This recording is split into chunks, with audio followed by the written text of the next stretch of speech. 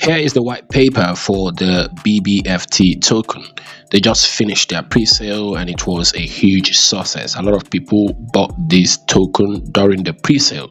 But I've got five questions and um, some of the answers to my questions are on this white paper, but a few of them are unanswered looking at this white paper. So i would love to get answers because um, this might help others who would want to get in on this project. Have a good reason to do so. So let's jump right in on this. So my first question is the team behind this project who are they? This is one of the first questions you have to ask when you're going through the white paper or the wolf paper of any project right? So this is very crucial to avoid getting scammed.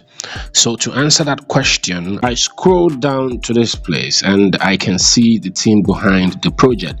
And what interests me is that these guys are real humans. They are completely doxxed. Okay, so that's one good sign for a project like this okay so you want to make sure that um, you're dealing with people real humans okay though sometimes you could have an anonymous team behind a project yet the project might go ahead to still become a successful one right?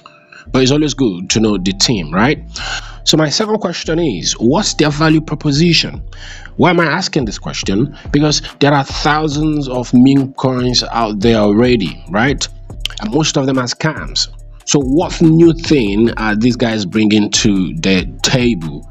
Right, and then they seem to have that answer for me here. Okay, so if you're asking a similar question, so right here they're saying that they're going to develop tools to help Web 2.0 organizations easily integrate into Web 3.0. Right, so this is quite innovative, right? From my point of view, if Web 2.0 companies migrate to Web 3.0 companies, they're going to make use of the Web 3.0 decentralized protocol. In Web 3.0, data is interconnected and uh, decentralized, whereas in Web 2.0, data is simply not decentralized but uh, stored in centralized repositories, right? So the World Wide Web is gravitating towards Web 3.0, and um, if there are softwares or tools that could help them easily migrate to Web 3.0, that would be quite innovative, right? Now you might be saying, Ken, why is this a good innovation as it's clearly written here? Well, imagine a situation where Web 2.0 companies migrate to Web 3.0 companies and now being able to automate their transactions through smart contracts in a decentralized manner because they are using the decentralized protocol of Web 3.0. Wouldn't that be great? That would help business all over the world and this is just one of the possibilities. Okay so i see this right here as a groundbreaking innovation.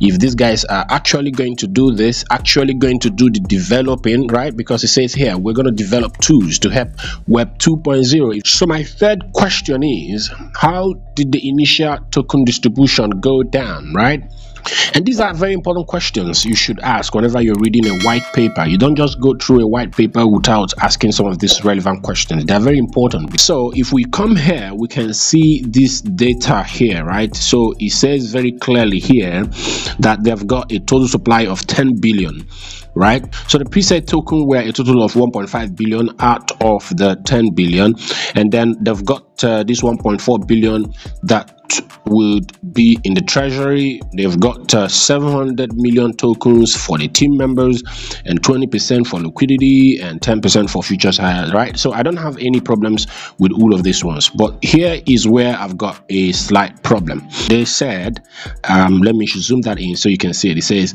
our team tokens are locked Why 50% of all team member tokens are vested, right? So my question right here is for how long are these team member tokens going to be locked? If these guys are dishonest individuals, which I think they are not, right? Don Bailey doesn't really look like um, somebody with, with, with a questionable character to me. This guy right here, I've listened to him. I think I follow him on Twitter. He doesn't look like uh, somebody with dishonorable uh, character. And of course, this other guy here, I don't know these ones, right? They are, they are meeting them for the first time from this white paper. But um, these two individuals here don't look like um, individuals with shady character right? So my question is please for how long is this going to be locked? Because that information is not here right? We need to know. And the reason for this okay? I'm not just saying this for the bbft token. In case there is any other white paper you are studying and they tell you that team tokens are locked you need to know for how long these tokens are going to be locked because if you don't know and then the token launches and these guys sell their bag of tokens the price could be dumped and you could be right in the middle of a rug pull right? So that question is very important. My next question is why are the fees so high? You can see right here i've got a 16 percent buy tax and then another 16 percent sell tax okay? When you're reading a white paper like this and the fees are high but there are no reasonable explanations then you should bolt immediately. You should take to your heels right? But here looking at these explanations i think they are reasonable enough to explain why there is a 16 percent buy tax and um, a 16 percent sell tax okay? Looking at it a little bit further we can see right here that um, out of the 16 percent buy tax 2 percent goes to their reward pool another 2% goes to their automated liquidity injection function. And then they've got a 9% for reflection. And they've got another 3% for tax insurance and legal fees right? And also if you come to the 16% sale tax once you sell 2% out of the 16% will go to the reward pool as before. Another 2% to the liquidity pool as before. But now you're going to have a 6% for reflections, right? It is 9% for reflections when you are buying, right? But here, when you are selling, you're going to get 6% for reflections. I think I love this token and the team behind it. And um, personally, I would be investing in this and um, but this is not investment advice. Please make sure you do your own due diligence before you jump into tokens like this okay? So this right here brings me to my last question. It says liquidity injection allocation 34 percent. And um, if we read this right here it says the fulcrum of our token capability is the ability to perpetually inject liquidity into the platform this requires tokens to remain available to add liquidity pairs. We have retained the largest proportional share of tokens to be able to variably add liquidity to the project. Okay? So our ecosystem leverages profits and initiates time-based profits injections to ensure happy charts right? Wow wonderful statement. But this got me thinking a little bit. This tells me from my understanding that uh, in the source code of this bbft token there are functions that allow for liquidity injection right?